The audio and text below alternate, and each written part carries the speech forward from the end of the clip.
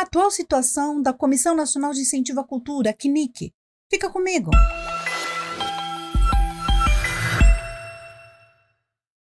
Antes de ir para o assunto de hoje, eu quero pedir para você se inscrever no canal e habilitar as notificações no sininho para receber todas as nossas atualizações. E para receber conteúdos exclusivos, torne-se membro do canal.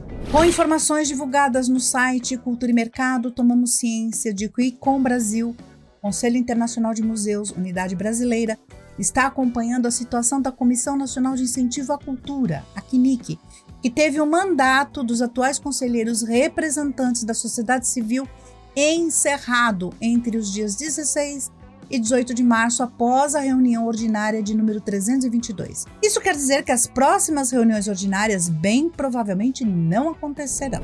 O colegiado é formado por representantes da classe artística, empresarial, sociedade civil e do governo, com função de analisar e dar pareceres para subsidiar decisões relativas à aprovação dos projetos culturais que se candidatam à captação de recursos de renúncia fiscal por meio da Lei de Incentivo à Cultura Federal, a Lei Rouanet. Na ausência de um edital aberto para novos membros, vários membros da CNIC, incluindo os representantes do ICOM Brasil, Adriana Mortara e Marcelo Cunha, se prontificaram a dar continuidade às análises até que se indiquem novos membros.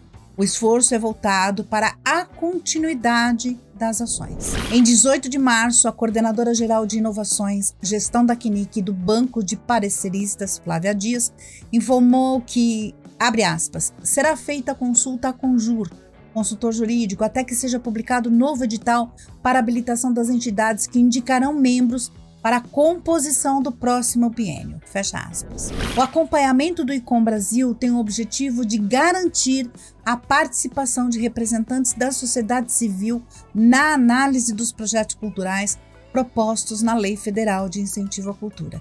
Infelizmente, eu constato e fico triste com a inércia e a pouca eficiência que os gestores públicos, especificamente no âmbito federal, tem tido com a cultura brasileira. Eles sequer conseguem reconhecer a força e o impacto que a economia da cultura, a economia criativa, pode ter para provocar o desenvolvimento no pós-pandemia. É isso, se gostou da informação, dá um like para eu saber que você gostou mesmo. Compartilha com quem precisa. Isso ajuda o canal e a gente a saber o que é mais relevante para você. A gente se vê.